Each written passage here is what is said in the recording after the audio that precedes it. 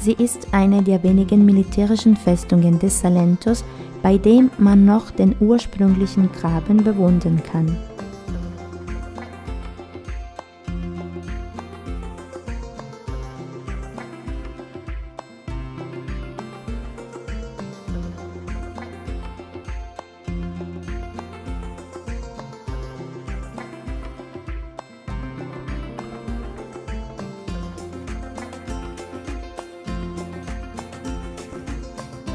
The castle of Corigliano d'Otranto is the concrete example of the shift from square towers to round towers.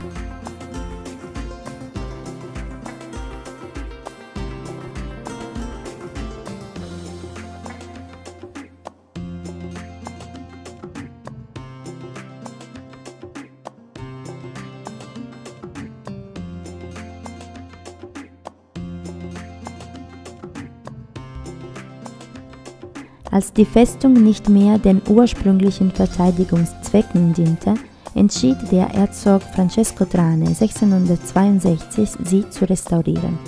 Eine neue Fassade wurde gebaut, die mit allegorischen Statuen, Inschriften, Leitsprüchen und Büsten von bedeutenden Persönlichkeiten der Vergangenheit verschönert wurde.